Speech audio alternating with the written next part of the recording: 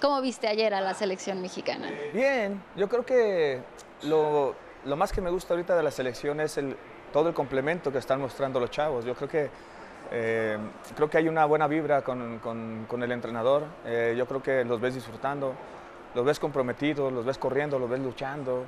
Eh, ayer mismo hasta los, los, mismos cambios entran y hacen cada quien su trabajo como, como, como es. Y, y, ves una selección bien, disfrutando también el tema, ¿no? Un buen conjunto más allá de todo lo que, lo, lo, que pueda pasar, yo creo que, que, me quedo con todo eso y, y auguramos una, una, un buen futuro. ¿no? ¿Qué le está faltando o qué sí está aportando el jugador que viene de fuera que puede ser llamado? Yo creo que, bueno, primero con el tema de, de Quiñones, yo recuerdo que yo creo que en cada proceso ha, ha habido un, eh, un jugador o, o naturalizado. Yo creo que esta es la parte de derechos que tienen todos y la verdad eh, no es un tema, digamos, para eh, como para estar hablando demasiado, ¿no? Yo creo que eh, hay que verlos en cancha, hay que ver qué, qué, nos pueden dar, hay que ver qué nos pueden ayudar también, porque esa es una realidad también, ¿no? Hay que ver cómo nos motivan también a, a, los demás mexicanos, a los demás chavos, qué, qué, nos pueden enseñar, qué nos pueden dar. Es una parte importante porque si el jugador mexicano que lleva a la selección tiene una gran responsabilidad, imagínate este tipo de jugadores, ¿no? Que saben que van a estar en el foco, que van a, saben que van a estar en tema este y también no es una parte fácil, ¿no? Pero bueno, al, al, al final del día es, algo importante y los jugadores de fuera eh, yo creo que tienen esta gran responsabilidad de demostrar siempre por qué están allá. Siempre venir a tu selección, yo creo que te engalana toda esta profesión o todo este tema que tú tienes y, y yo creo que no es para menos eh, decirle a los jóvenes que están acá en México, decir, por algo estoy allá y por algo estoy viviendo un sueño y una meta, ¿no? Entonces, eh, ojalá que siempre, como siempre digo, veamos más jugadores fuera y, y, y, más compenetrados. ¿no? ¿Qué consideras que Carlos le puede aportar al proceso de Jaime Lozano? A lo mejor en la parte de arriba es muy complicado. Ahorita yo creo que están más, más enfocados en la parte de arriba. Eh, yo llevo tres años metido al fútbol base, ¿no? Y yo siento, siento que ahí es donde también podemos mejorar muchísimo, porque conozco y he visto mucho déficit como tal en la parte, en la parte baja. ¿no? Siempre he dicho que un proyecto, se, se, la parte baja es, es, es, importante, o la base, y, y, sé y he detectado muchos, muchos lugares o muchos puntos donde podemos mejorar como tal. Eh, entonces estoy, estoy metidazo ahí eh, con los chavos, con el fútbol base, y a eso me refería un poco, ¿no? Si, en su momento está esta situación, pues claro, que, que en su momento hay que Hoy en día tenemos que estar todos juntos, hoy en día desde nuestra trinchera tenemos que tratar de ayudar, desde nuestra trinchera hay que tratar de poner su granito de arena. Siempre interesante lo que dice un jugador como Carlos Salcido, que fue muy buen jugador de la selección mexicana y de las Chivas. Fue un jugador que además pasó por Europa, triunfó, le fue bien, un jugador completo, técnico, fuerte, sólido. Tuvo una confederación desde 1900, no, del 2005, 2005, maravillosa el Mundial también lo jugó bien, no le fue del todo bien a México, pero al final de cuentas Salcido fue fundamental en esa selección. Mejor lateral para mí que ha habido, lateral izquierdo, no sabe si es zurdo o derecho. Parte de una velocidad mental, una inteligencia. Ahorita muy están técnico, escuchando hablar. Técnico, ¿eh? No, muy técnico, pero aparte jugar en Europa, jugar de lateral, de defensa central, en línea de tres, en cuatro, en línea de cinco, de volante, eh, dúctil, maleable, jugadorazo este chico. Y además eh, lo escuchas hablar y así de fácil como él jugaba. ¿No? Sí, en la cancha. Lo que dice de Facilito evitémonos problemas de Quiñones, veámoslo hay que verlo jugar. en la cancha, claro. hay que verlo jugar, hay que verlo con la selección, ¿por qué no? Ya es mexicano que esté en la cancha. Yo entiendo que a algunos no les guste ese tema. Sí, no, pero eh, él dijo, hay pero, que verlo, pero, hay que pero verlo bueno, jugar, ya, punto. ya estará, ya vendrá su pasaporte, ya podrá jugar, ya estará ahí. Vamos a verlo en la cancha. Eso es lo principal. lo Como ayer vimos en la cancha, sin ver si en dónde nació, ya tiene el pasaporte, cuando lo tenga, perdón. Ayer vimos a Huerta, ayer vimos a Cortizo, pues al rato vamos Pero a ver a Quiñones, a ver qué son tal. mexicanos los dos en el problema. Sí, bueno, no, lo, y, y, también se, y se vieron bien los dos, Cortizo y Huerta. Sí. Bueno, eh, dice Salcido que esta selección tiene compromiso con el técnico. Que está comprometida. Está comprometida, sí. Sí, la, la, lo lee muy bien. Eh, voz autorizada, es un crack. Salcido, un crack dentro Como y fuera jugador de la cancha. y fuera de la cancha. Sí, y, y, habla muy fácil, habla muy bien. Sí, yo veo un respaldo de los jugadores con el técnico. Ese respaldo lo vimos ayer en la reacción. Tú sabes que al técnico se le vienen las críticas si el equipo pierde, más allá de que el resultado en un partido de preparación tendría que ser lo de menos. Bueno, viene la reacción de los jugadores. Dice algo que es importantísimo, José Ramón. En esta reestructuración que se habla del fútbol mexicano, lo más importante es el fútbol base. La Y Salcido trabaja en fútbol base, por ejemplo. el, ¿qué, qué- a ver, ¿qué proyección tenemos en cuanto a fuerzas básicas en México?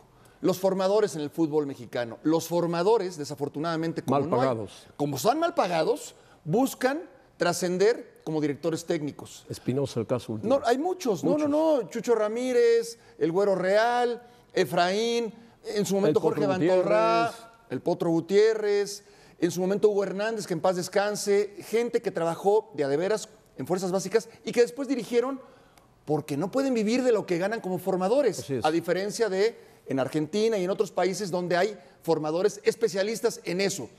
¿A qué voy?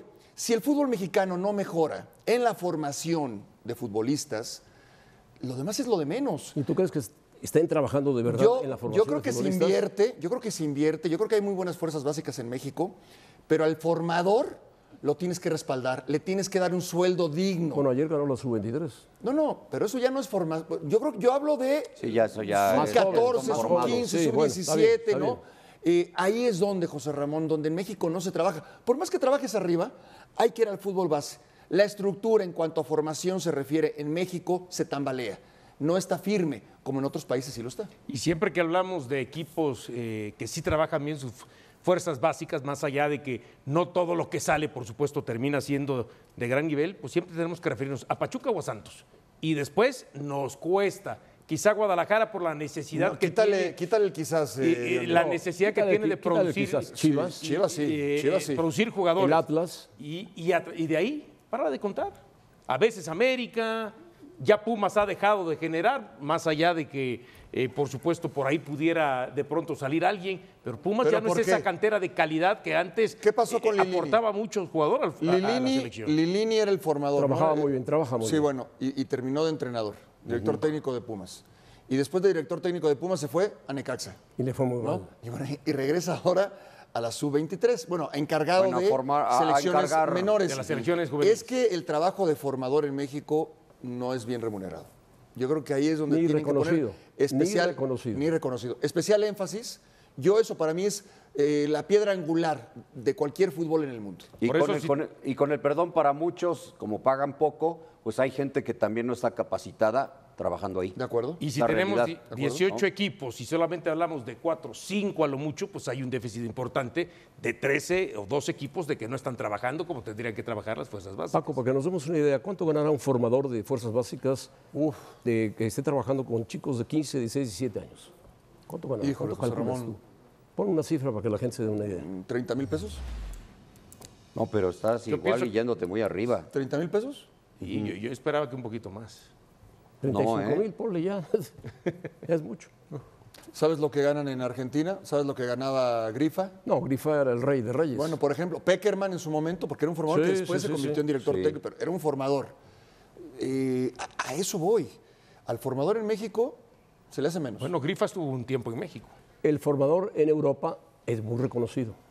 claro. Y normalmente el formador que va subiendo, subiendo, subiendo, tiende a terminar como técnico de la selección mayor. Y el formador percibe inclusive un porcentaje cuando hay una transferencia. Tú formas a un jugador a los 14, 15 años, si ese jugador lo venden, lo transfieren a otro equipo, un porcentaje lo tiene el formador. En México eso no existe.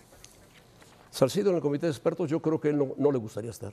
Ya lo dijo, yo me, me fascinan las fuerzas básicas. Trabajo en la base, en la base. Y aparte, no lo haría nada mal, ¿eh? No lo haría nada mal, nada mal. Ni como formador, ni en la base. Y sería un buen punto de vista como jugador de selección y mexicano. No, aparte, vino aquí, habla muy bien, eh, la tiene muy clara, eh, tiene mucho bagaje internacional.